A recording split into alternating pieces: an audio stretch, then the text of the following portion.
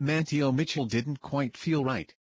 He was 100 meters into his 400m run and his leg felt weird.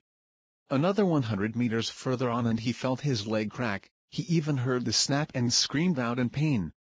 Incredibly he did not stop. He wanted to lie down but didn't, he just kept going through the pain and ran the last 200 meters with a broken leg. More amazing still was that his effort meant his American team not only finished the relay semi-final, but won it in 2:58.87 the fastest time ever run in the first round of the 4x400m at the Olympics. Manteo has become an inspiration and a hero for his teammates. Without his courage and determination to finish, Team USA would not be at the starting line in the final.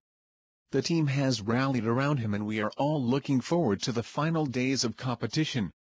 Mitchell finished his 400